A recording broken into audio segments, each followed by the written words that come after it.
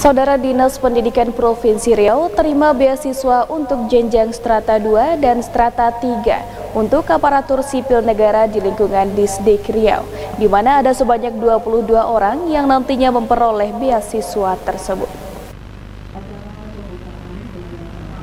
Dinas Pendidikan Provinsi Riau terima beasiswa untuk jenjang setara 2 dan setara 3 untuk aparatur sipil negara di lingkungan Disdik Riau di mana saat ini sedang dilaksanakan seleksi calon mahasiswa S2 dan S3.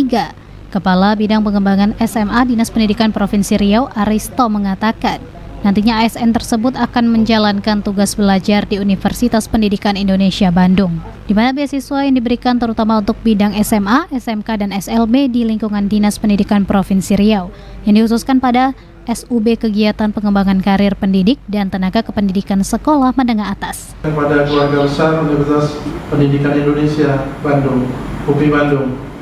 yang telah bekerja sama dengan pemerintah Provinsi Riau melalui Dinas Pendidikan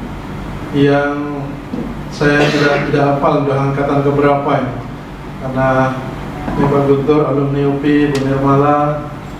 uh, alumni UPI banyak saya kira yang senior senior dari saya adalah alumni UPI yang kerjasama ini sudah terjalin sejak lama dan kami di Provinsi Riau sudah mendapat memperoleh manfaat yang besar dari program kerjasama ini. Terima kasih atas sumbangsi teman-teman di Universitas Pendidikan Indonesia terutama dalam hal peningkatan sumber daya manusia atau peningkatan kompetensi kita terutama tenaga pendidik kita di Provinsi Riau ini sehingga uh, sedikit demi sedikit uh, sumber daya manusia kita, kompetensi teman-teman kita uh, makin meningkat. Di mana ada sebanyak 22 orang yang nantinya memperoleh beasiswa tersebut. Yugi Sasta dan Zuriadi melaporkan.